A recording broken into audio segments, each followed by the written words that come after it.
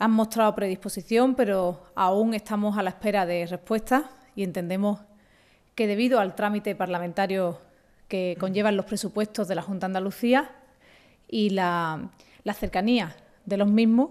pues creemos que esta cita debe producirse lo antes posible si queremos que salgan los proyectos que pretendemos consensuar